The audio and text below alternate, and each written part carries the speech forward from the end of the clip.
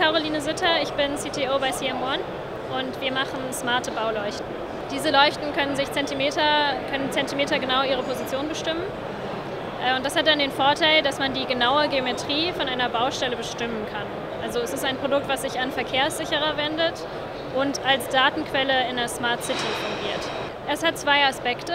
Ein Aspekt ist, dass es Echtzeitdaten über die genauen Flächen und Positionen von Baustellen so noch nicht gibt.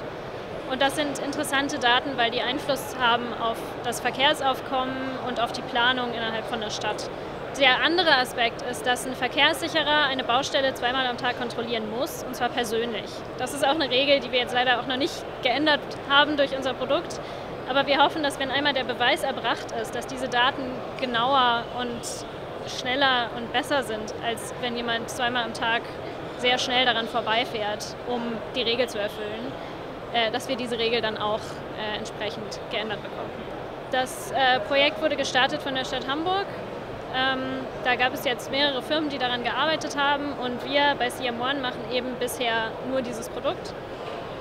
Es geplant ist dann, dass das in Hamburg eben groß ausgerollt wird, dass jede Baustelle in Hamburg diese Leuchten verwenden muss, sodass man dann wirklich einmal, wenn man das ein paar Monate gemacht hat, sieht, welchen Einfluss hat eine Baustelle eigentlich auf den Verkehrsfluss äh, wie viele Baustellen haben wir überhaupt in der Stadt, wie gut ist die Planungssicherheit, fangen die Baustellen dann an, wenn sie anfangen sollen und dauern die auch wirklich so lange wie geplant. Die Daten, die wir produzieren, werden in unser Backend geschickt und von dort sind sie verfügbar für die Städte.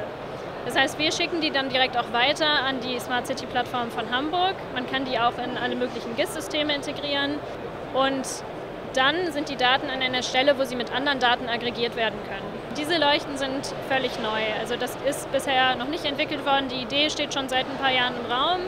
Aber auch dadurch, dass diese GNSS-Technologie überhaupt erst in den letzten Jahren auch so äh, verfügbar und auch zu so guten Preisen verfügbar ist, lohnt sich natürlich dieser Einsatz. Denn äh, die Leuchte kostet natürlich dimensional mehr als eine normale, sagen wir mal, nicht smarte Leuchte.